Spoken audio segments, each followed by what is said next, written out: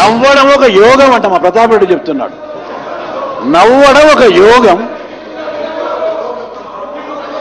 నవ్వలేకపోవడం ఒక రోగం. నవ్వించడం ఒక భోగం. ఇది నీకు లేకపోతే మేము ఏం చేయమండి? నవ్వేవాడికి ఫ్రస్ట్రేషన్ ఉన్నట్ట? నవ్వని వాడికి ఫ్రస్ట్రేషన్ ఉన్నట్ట? తెలియదు నాకు.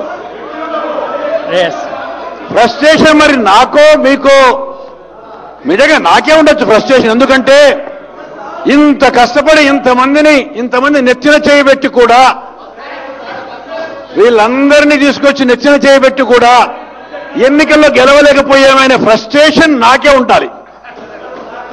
ఎన్నికల్లో గెలిచా కాబట్టి ఎన్నికల్లో మీరు గెలిచారు కాబట్టి మీకు ఫ్రస్ట్రేషన్ ఉండదు. ఏదైనా మనం మాట్లాడుతుంటే జనం ఏమనుకుంటున్నారు అనేది కూడా ఆలోచన చేయాలి చంద్ర